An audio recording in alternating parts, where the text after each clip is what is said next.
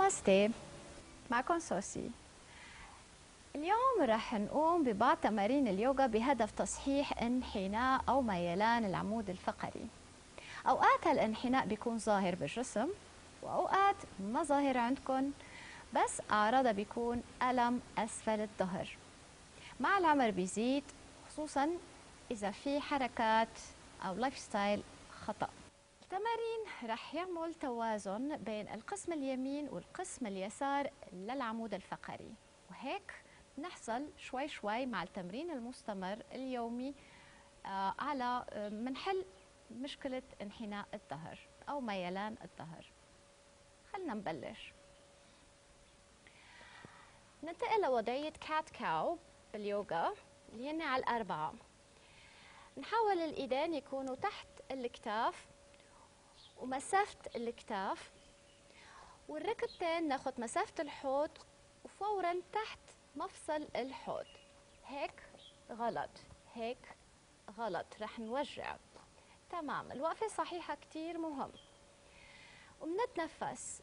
ناخد شهيق بهالشكل هاي. صدر للأمام بروز الصدر للأمام دقن للأمام. زفير بعطي تقوس للظهر للأعلى بحيث يصير مثل حرف سي وباخد الدقن لجوا. برجع كمان شهيق زفير آخر مرة شهيق وبريح. ننتقل للتمرين الثاني. رح أتوازن. أوكي بمد الإيد اليمين للأمام. مد. وبنفس الوقت بمد ساقي اليسار فاذا يمين وساق يسار. عكس بعض. وكأننا عم نطفش شيء بهالشكل هاي. وخلي الرقبة على امتداد الظهر. بهالشكل هاي. شهيق زفير كوع للركبة بقربها. برجع هي بدها شوي توازن. شهيق زفير آخر مرة شهيق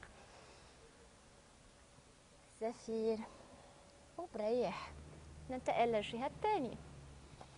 بمد اليسار وبمد ساق اليمين وبدفش stretch them out.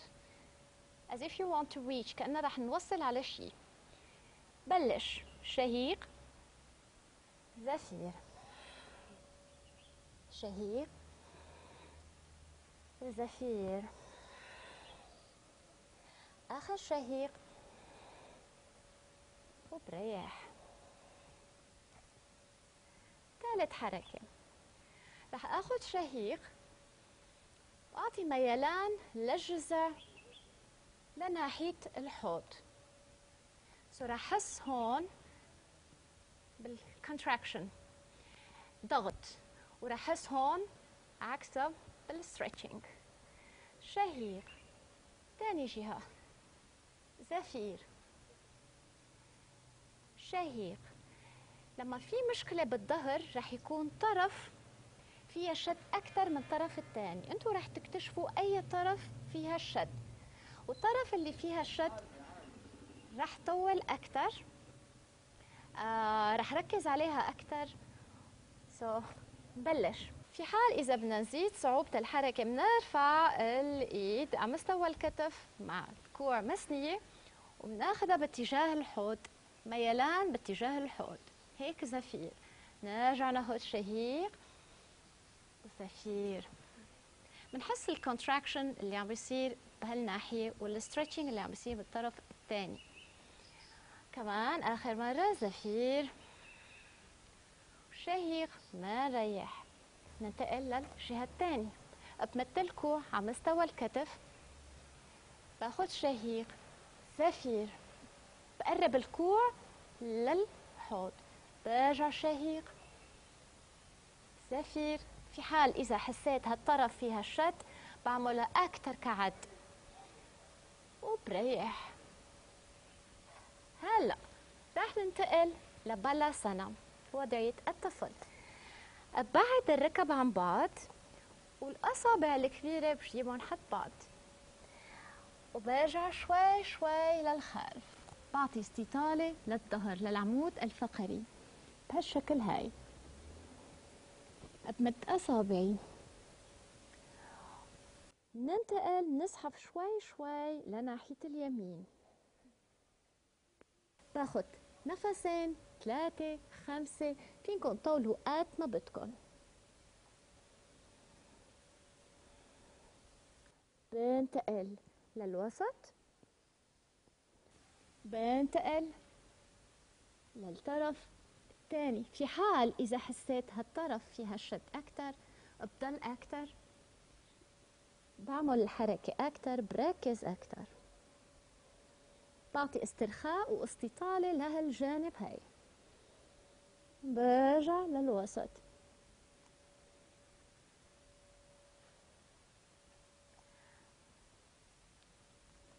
بستلقي جانبا. بحيث يكون الحوض والساقين على مستوى واحد.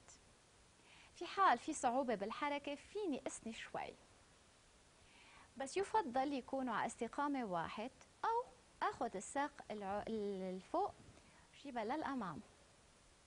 بهالشكل ودائما حاول أرفع وبعد الكتف عن قدام بهالشكل إذا بدي أقدم أو صعب الحركة شوي باخد الساق الفوق. بعطي ستريتشنج كمان. بغمض العيون ما برجع بالحوض للخلف. تمام. نعمل تاني جهة.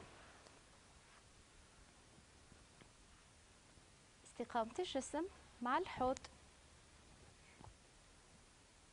بحس فورا بالشد اللي عم يصير هالجانب الثاني. فيني ضل هيك. فيني أعمل هيك. وفيني أقرب القدم. وأعطي ستريتشنج للصدر للأمام وتركيزي على الظهر السفلي. باخذ ثلاث أنفاس.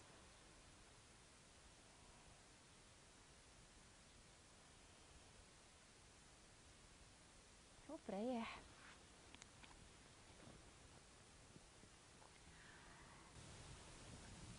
بتمنى أنكم استفدتوا وجربتوها معي. كانت معكم سوسي. نمستي